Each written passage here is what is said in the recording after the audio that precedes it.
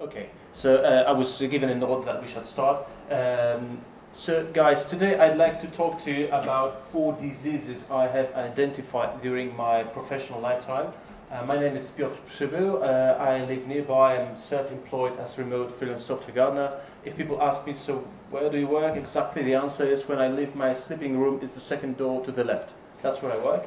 And uh, for like 80% of my life, I've been JVM developer, and 80% of my life, I'm a web developer, web, REST, such stuff. So I had never done a mobile application, if that's your concern. But I still think that some of these diseases are uh, subject to mobile work as well. Uh, okay, uh, so four diseases. Common DDDosis, dididoza pospolita, regex diarrhea, biegunka regexowa, not made here syndrome, syndrome niezrobione u nas, and the last one, malicious stringosis, stringoza złośliwa in Polish. Uh, just before we start, a little warning, uh, caveat auditores. Who knows about the caveat emptor rule from the ancient uh, Roman rule? Nobody? Okay, it's still present in like uh, American system, for example. So let's say you, you're buying a house. So unlike in Poland, when you are the buyer, you don't have to make sure, uh, uh, sorry, in, in, Poland you don't have to make sure that there are some flaws or, or, or, issues with the property. In the United States, you have to, because it's the buyer responsibility to make sure that it's everything okay with the subject of the transaction, like, like let's say the house. Uh, therefore, they use caveat emptor, let the buyer beware. And here we have caveat auditores, let the auditorium beware. So it's not me, it's you. Uh, before we start, legendary input-output. I think most of you know this von Neumann's architecture, input-output, blah, blah, blah. It's not that important. I think this, this one is much better. Uh, this is the system. This is the system we have, what, no matter what system that is. This is the input to the system, and this is the output. And if you don't know, because I'm a, I'm a peasant, I'm a village man, so I know that, uh, chickens are, are, omnivores. They eat seeds, corn, uh, worms, everything. If they, they, can even be cannibals and eat their own uh, eggs. Anyway, the purpose of this system is to take like very broad, very tolerant input and turn it into a very nice output. That's the purpose of every IT system down there.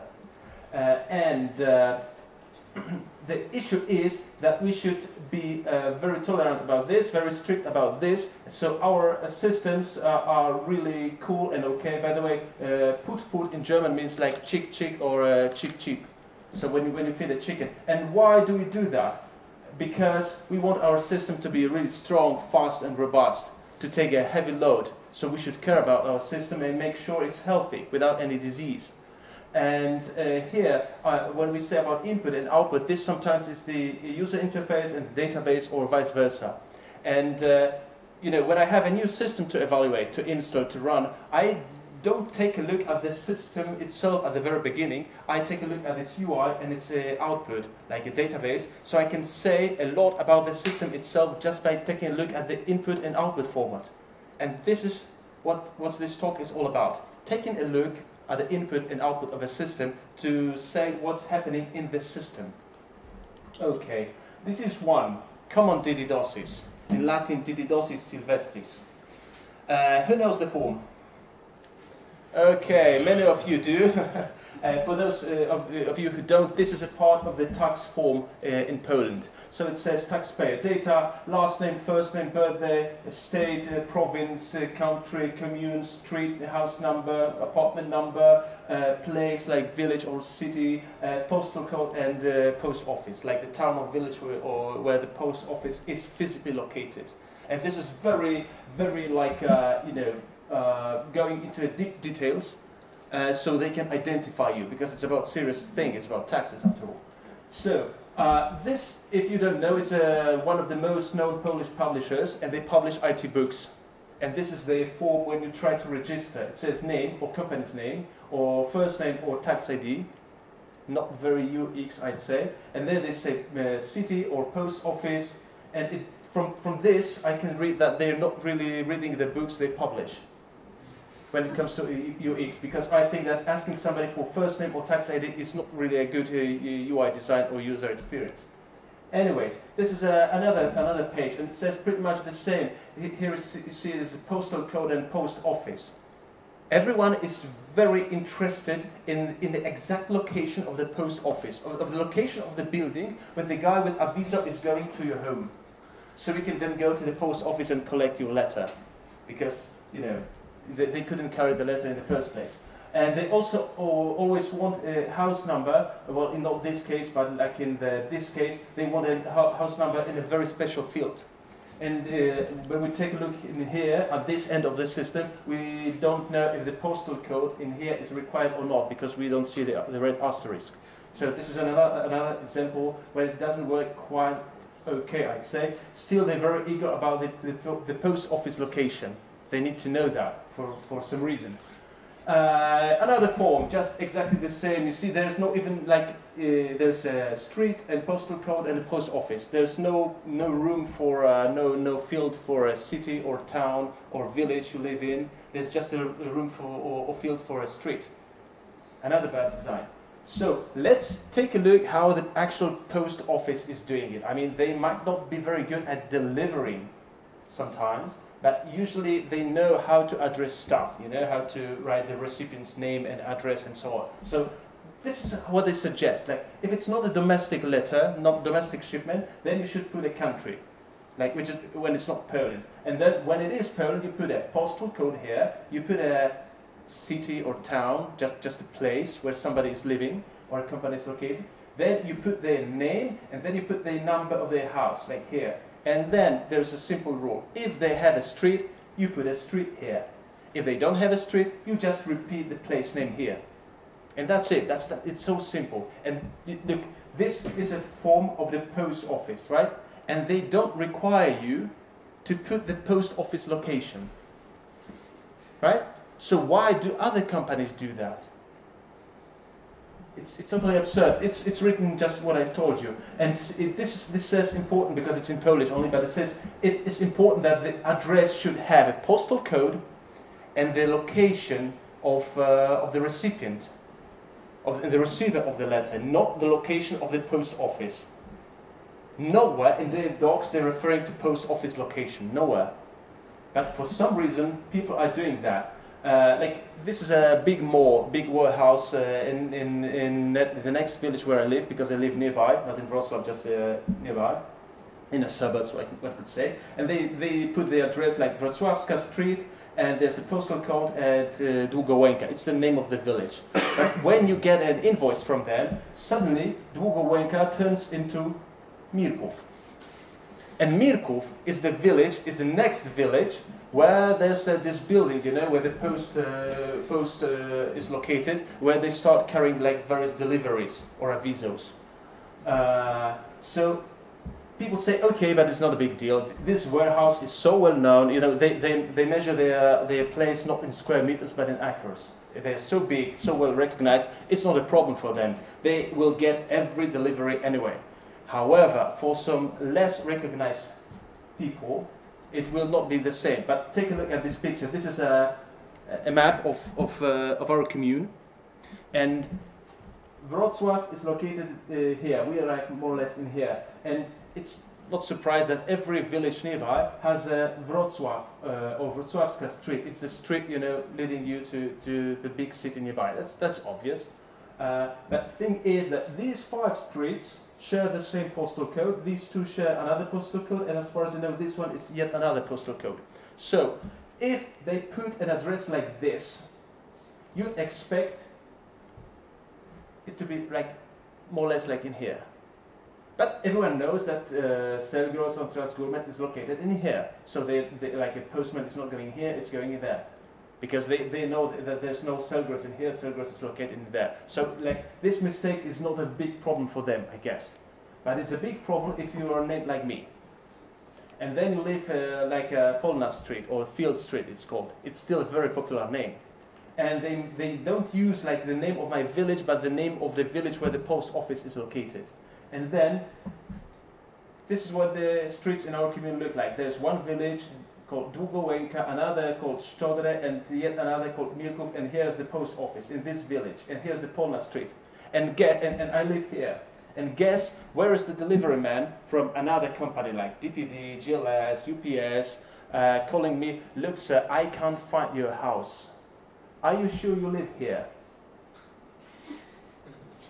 Huh? And this is, this, is, this is a real problem uh, for me. This is really real pain because I don't get my deliveries because somebody, somebody is turning the, the, the location, uh, my location into the location of the post office for some weird reason.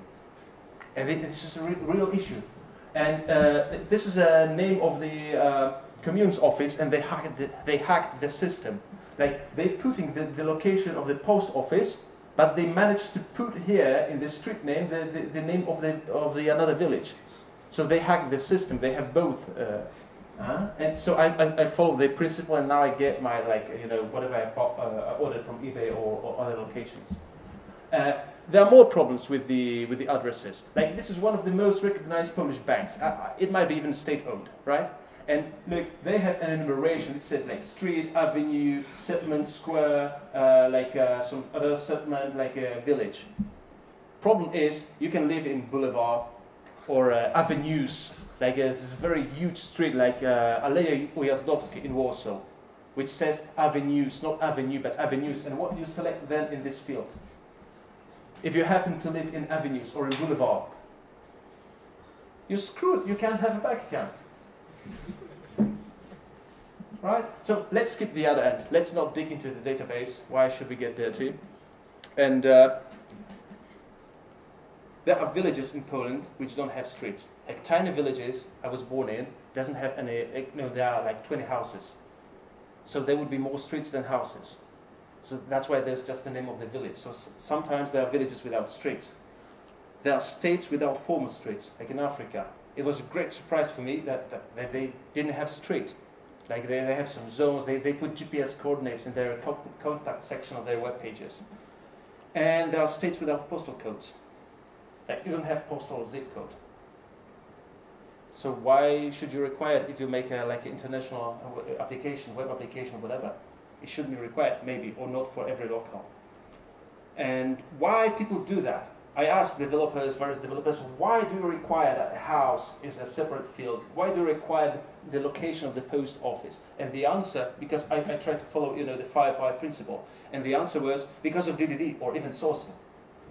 And now, I'm, I'm not, I, I won't dare to say that I'm a DDD expert, but surely I think I know what DDD isn't about. And DDD isn't about splitting your input into the very tiny pieces which don't make sense. Okay? Like, having a special field for house number might, might make sense for like a pizzeria because they might be very long street and they deliver like to the half of it. So they need to know the number to you know to avoid passing or something or like a, a, town where my granny used to live in. So there was uh, like odd numbers of street belonged to one parish and even numbers belonged to another parish. So there's no conflict between priests in between right? So if like it's here and, and the border between parishes is here and we know that this even numbers belong to one parish odd numbers belong to another parish. That's a valid business case. That's a part of your model of your system that makes sense and excuse for ddd to apply. But if you have like a central shipment center and you send your goods to whole poland there's no need for separate field of, uh, to carry the, the house number because what event sourcing can you think? Okay, we make promotion for guys uh, whose house, number, uh, house numbers are divided by three. Doesn't make sense, right? So DDD or event sourcing are an excuse here. And let's take a look again at the form. This, this was an analog form, a piece of paper. Uh, I think all Poles know that. So if you have like registered uh, uh, mail or recorded delivery, this is the form you had to fill in. And it says postal code, city or town or village, and here is a free text entry. And that's it, right? And these folks are delivering letters for 100 letters, uh, sorry, years. So I think they, they quite, you know, into the business and they know how to put address labels. So maybe we should follow them and have such a simple form. If we don't care about the house number or, or, or where the post office is located, right? Or, so this is like Allegro, this is like a Polish equivalent of eBay, and they almost did that. See, there's address, there's a postal code, and this is like your location, and there's a province. Man, no, maybe for statistics, maybe for something they could like uh, compute that from postal code. But anyway, and this is it. This is a simple form. There's no special field for like a house number, like a apartment number, or uh, like a city where your post office is, because it doesn't make sense to them, because they send goods or, or issue invoices from one place for a whole country. And that's it. It's so simple. So my prescription, don't excuse yourself with DDD when you make a stupid UI, especially if you don't know what you're talking about, but you don't know what DDD is. Because DDD surely isn't about dividing your input or output into as tiny you know, pieces of data as possible without no business reason. Okay, disease two, which is regex diarrhea. In Latin, diarrhea regex is in Polish biegunka regexowa. I think a lot of people suffer from this disease. Uh, let's go to electronic email this time. And uh, say uh, you want to create an account with Orange because you, you like to get like fiber optics or uh, get a cell phone. And as you can see, you can't use this as an email address. I think in, in this very conference, people know that this is a correct email address, right? You can put like a plus and then it becomes uh, your label in Gmail. That's perfectly valid email address. Valid according to all RFCs and so on and so on. Yet it's, it's, it says, please enter correct email address. Because this seems to be like incorrect. Uh, or this one, like uh, social security in Poland. And this is also email, valid email address. I can have, of course, I don't have mailbox at this very DNS server, right? But I can have a mailbox and a server which doesn't have like domain and still it's perfectly valid for, valid for receiving emails. And, and they say it's invalid. By the way, take a look uh, at stupid password, which is like super cool because everything's checked. I have another talk about this stupid passwords. Anyway, this is like when you buy or sell a car in Poland, you have to register it, right? So in my country, they, they made like a super easy for, for the buyers or sellers, so you can like pre-register to get your ticket, so you can like, uh, you have like an appointment at a certain time so we don't have to wait half a day in a long queue. Again, I tried to register with my perfectly valid email and I couldn't. Incorrect email uh, format for some reason. So I took a look, you know, because this time I broke the rule and I took a look at this code. Okay, uh, and in Poland, you, in Polish you don't say you don't take a look. In Polish you throw an eye, right? You throw an eye on the code. So, Mister, throw an eye on the code. Oh, almost there, almost there. Okay, so uh, uh, eye for an eye. So this is an eye for you. Thank you. Uh, okay, so this is the this is the code. This is the code. It's verbatim. Yeah, I I, play, I, I pasted it here just as it goes. And as you can see, just before the at, you can't have the plus sign although it's perfectly valid, but you can have like two dots uh, in common, or you can start with dot, or you can have all the dots be, uh, be before uh, the at sign. Uh, by the way, take a look at this return true, return false, uh, and uh, here at this very end, you see that after the last dot, you can have from two to four characters, which is okay for EU, like com or info, but think about all these like dot events or dot academy, in these new TLDs, right? It won't work. Again, such a stupid, there's a name. There's one name in this very file, but I don't know if it's the name of the author of this very function. That's why I, I won't quote the name, but uh, you may take a look if you wish. Um, okay, so this is a bunch of correct email addresses. The, all these email addresses correct are correct. Like even even this one is uh, correct for the last few years. Like in uh, UTF local part before uh, the domain name, you can put like dots, you can put plus sign, you can quote it. Everything is okay. And here's the list of the incorrect email addresses. See, you can't begin with a dot. You can't have two consecutive dots. It's in, it's incorrect. Yet that uh, previous uh, regex I'm showing you would uh, accept this because they don't check if there are two uh, consecutive dots. So, you know, is it even possible to validate an email address with a regular expression? I did that. Uh, I had that question and I did what every developer does. So I asked Stack Overflow, right? And, and I found a, a, such a question and there was an answer. And for Java, I don't know any, about any other languages, but for Java, this is the regex. and I, let's say I didn't manage to break it. Like I used all these correct and incorrect emails and a few others, and uh, it, it didn't have false positives or false negatives. So this is the regular expression for Java to validate if uh, the email address is actually correct. So as you can see, I, I show that I have shown that in a in a bootcamp because I'm also a bootcamp trainer or teacher, and they, they you know these newbies ask me, "Did you write that?" Not quite. Uh, okay, so even if it looks like being valid, take a look. You can misspell the address. I misspelled the misspelled name, right? And I, I doubled that, and this is like for e-governance in Poland. And still, if you even require to for someone to like enter it again, it doesn't prevent because what do you do? You copy and paste, right? Everyone copy and paste. So they would copy misspelled address and paste it here, and voila, it's valid. But there's no such domain or mailbox, right? So maybe you should use RFC, like implement the RFC uh, by our own.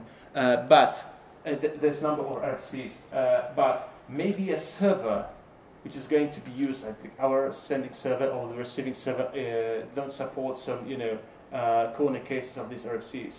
Or maybe we should test, perform MX or SMTP test. But maybe again the server doesn't support that.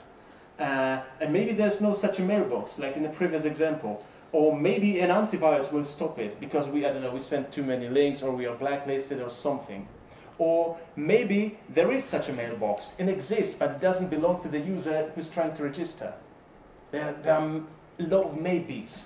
So, maybe we should validate. Uh, who wants to throw an eye, this case? Maybe you, sir. Throw an eye, throw an eye on this. Again, it, this is PHP. This is PHP, and please tell me. Uh, I'll try to uh, yeah adjust it a little tiny bit, and tell me what's being validated here in this regular expression. Come on, I have some jellies. What's being validated here? URL. Who said URL? Okay, jellies for you. Throw and catch. Perfect exception handling. Yeah, that's a, that's a validation of a URL. And this is how they validate URL in a, in a pfSense, which is a firewall distribution. And guess what can pass it? Like this can pass it. This is a valid URL according to this regex. I checked that. And this one too. And this might look okay, but uh, this one with, with the space here, this is space, non-breaking space. It will pass, uh, sorry, like breaking space, normal uh, uh, space, it will pass too and this will pass as well. This is a valid URL according to this regular expression. By the way, take a look at this ugly smell here, right? Like, if match, then return true, else return false, yeah? You don't write code like this, I hope. You really don't. Anyway, let's go further. So, if there's an old wisdom of the people of Dakota tribe, and they say if you have a problem and you try to solve it with a regular expression, you end up having two problems. But it doesn't apply to Perl, of course. In Perl, you solve everything using regular expression. Uh, so my prescription, if you collect email addresses to send something using these email addresses, because this is what we collect these email addresses, right? We don't do that for statistics. Oh, these many people with .com, these many people with .eu. We collect these email addresses to send something to the user. So maybe we should validate if this email is working and they can receive this email just by sending the first message to verify that. In your regex, maybe you should validate if it contains this, you know, at or donkey, if it has one, one letter uh, in front of it, one after at least, and then it's like, then it's like, you know, like minimum viable uh, email address to try to send an email. And it might be valid. Disease 3. Oh, right. Uh, not made here syndrome. Uh, in Latin syndroma non fecit anobis syndrome nie zrobione u. Uh, who wants to throw an eye? Any volunteers? Okay. Uh, there's a volunteer. Throw an eye, okay, so. Throw it well, okay? Throw an eye really, really well you can approach the screen. You can approach the screen. There's a, you know a lot of room here. You can approach the screen, and again, eye for an eye. If you if you threw well. Exactly. So here it is, an eye for an eye. Uh, so tell me, folks, what's being held in this very important table? What's the meaning of this ID column? Just ID, yeah. And what's stored here and created? Like timestamp or so. Timestamp, yeah, you broke it. I throw you catch, okay? Ah, almost. Sorry. Yeah, and, and instead of long, in timestamp long, you can keep it as a variable character as well. Just some, some text to keep it in, a, in some, you know, weird format. Uh, and sometimes you can even see something like this. Yeah, and this is the output of the system we're examining now. We are not taking uh, a look, uh, we don't throw an eye into the code.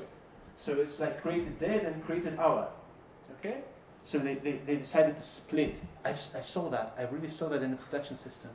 But not exactly this, but you know, this is like uh, obfuscated, okay? Um, so why people don't simply do something like this?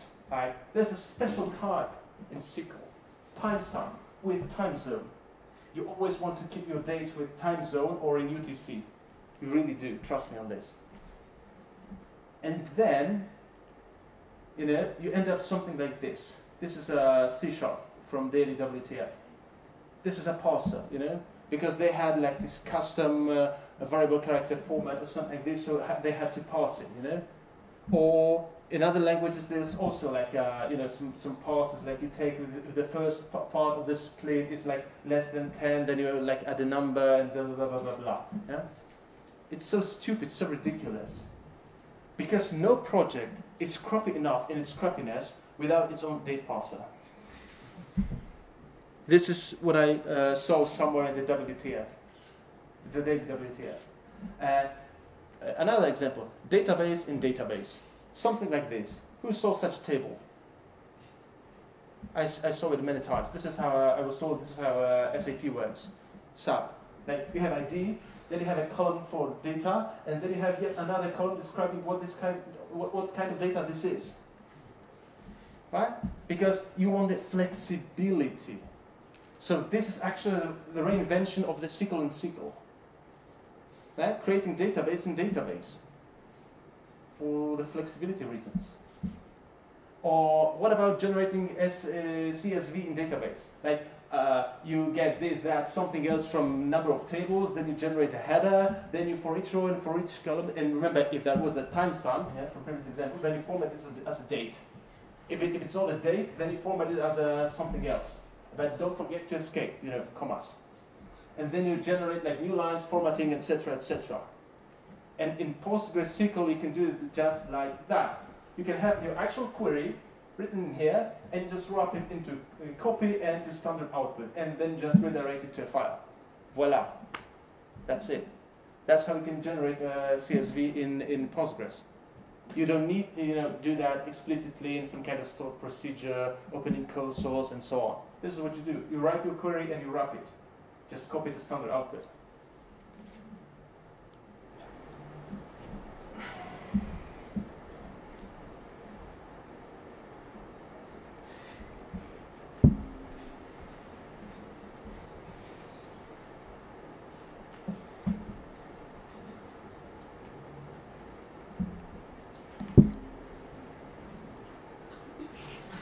Yeah.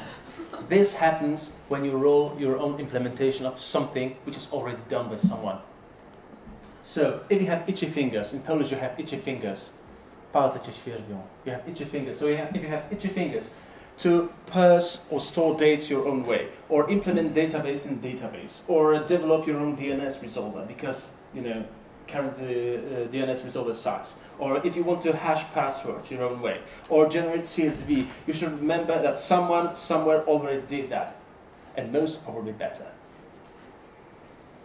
So my prescription for this disease, if you're holding a golden hammer, you know, you have learned a new tool. Now you know how to write SQL, you know, so you can you know how to write a database in database or generate a, a CSV using SQL. So if, you, if you're holding this golden hammer and you want to hammer in everything into your code, just you want to, you know, smash those nails with you. It doesn't matter if it's a nail or something else with, a, with this golden hammer.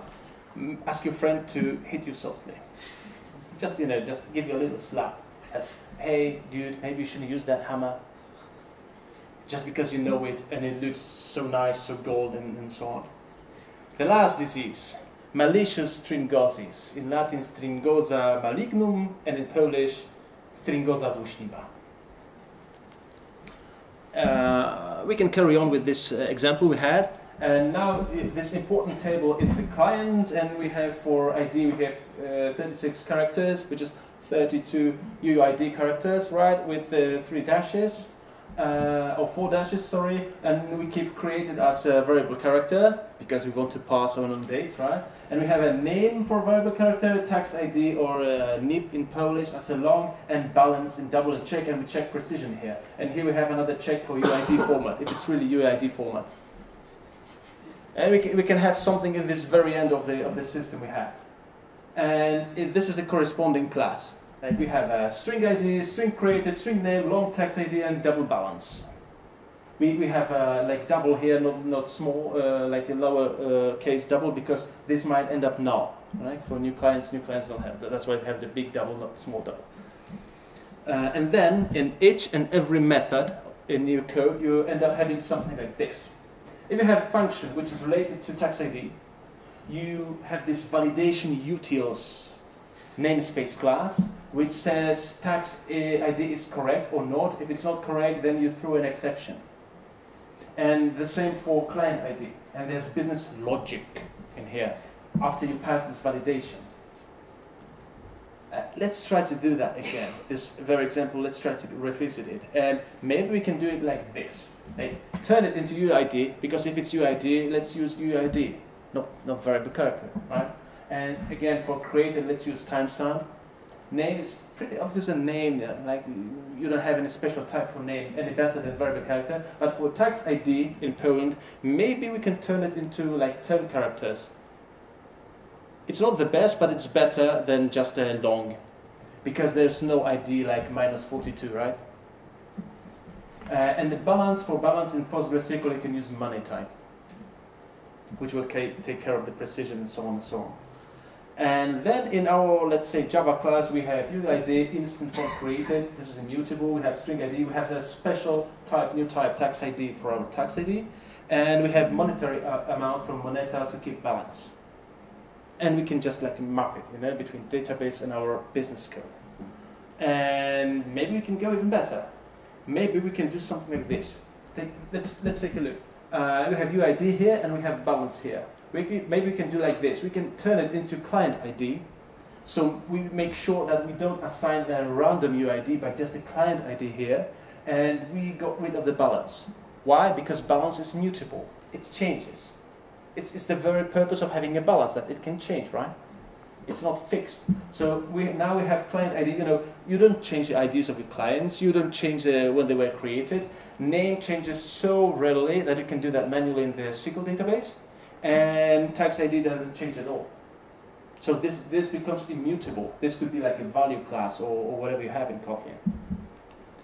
And then in each and every method, like for a, let's say a Java or, or, or similar language, you can have like a, a tax ID related operation and takes tax ID only. Not any other long, just tax ID. And after you make sure it's not null, you can go on with your business logic. And in languages like C Sharp or Kotlin, you can make sure that it's not now right in here.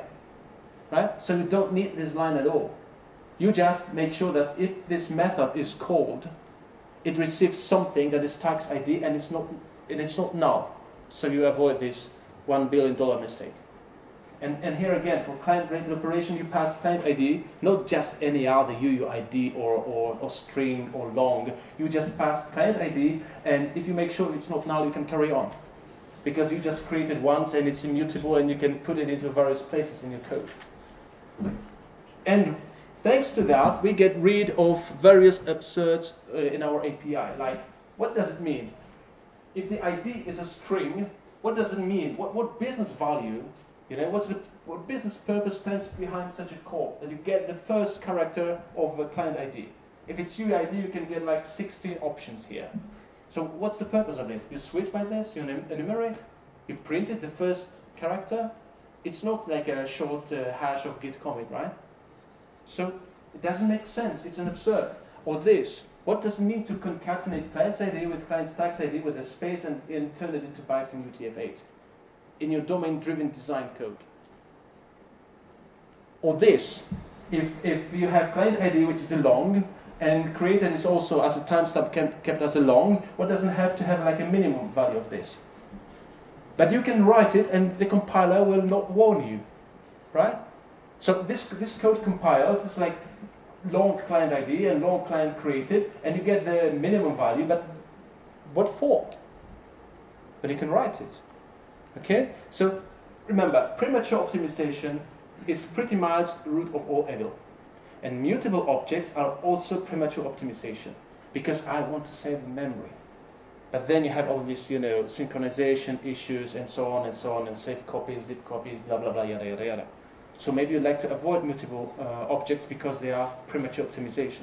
And easy to generate JSON is not an argument. Like, uh, if I have the strings, the logs, it, it, it, will be easy to generate JSON.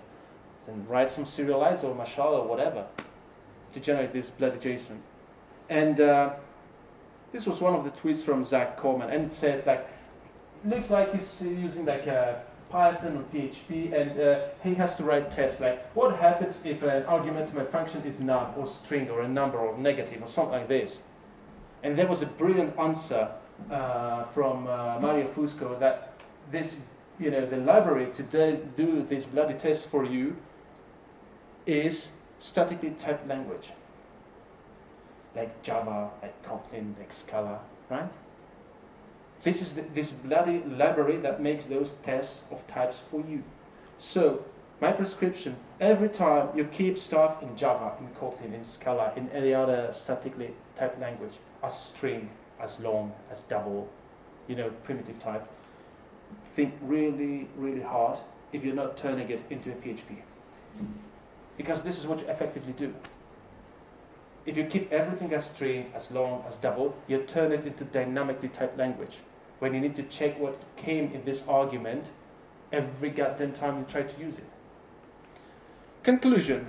Another tweet from Mario Fusco. He says that if you choose the data structure, so this is the, let's say the output of our system for web development. If you choose correct how you store it, you know, then it's difficult to break it with algorithm. And I think that something similar applies to UI, the other end of the system. If you do it correctly, it's, it's not as easy to spoil it, to break it, to destroy it with a stupid algorithm. That's why you should care about the ends of the system, the input and the output. And guys, just uh, remember that you should always, and, and everyone should do that, you should feedback your speakers. Not, not only me, not only at this very conference, but every conference, every speaker. Uh, if you are afraid of something like a digital, this, this can do like one uh, lady did. She just wrote, wrote a piece of paper and she said, I'm too shy. but, but feedback, and anyway, in any way, just feedback. Uh, thanks a lot. This is a link. Uh, remember to stay fit, keep your systems healthy, and we have like five minutes for questions, and I have some jellies left if you have some questions. No questions? Everyone cured? I can ask you one question. Uh, have you heard about uh, what3words about your first disease? That the solution for the for the it's a different tool. But yeah. have you heard about what three words? That's an application that uh, defines uh, new addresses for every place on Earth. Uh, well, this is a solution for, well, for well, we could use that, but you know, in, like in Poland, we don't we don't deliver stuff using like GPS coordinates, for instance. That would be like require you know latitude and longitude, even two words. I don't, I don't, I don't, I'm not sure I get what you mean with uh, these three words. Yeah, what what3words is an app uh, that defines an Earth as a flat surface and divides whole uh, finished surface with uh, squares, uh, three by three, and defines for each square on Earth three words that describe the location. Uh, I, I didn't know that. That, that's, this, maybe it's not the question, but I was one of the judges. So. Unless he's honest. Okay. Any more questions? So you guys, I really, really hope we'll not just blindly go to use regular expression. Next time you have to validate something. Okay, that's a takeaway from this talk, I hope. Thank you very much then. Enjoy your lunch.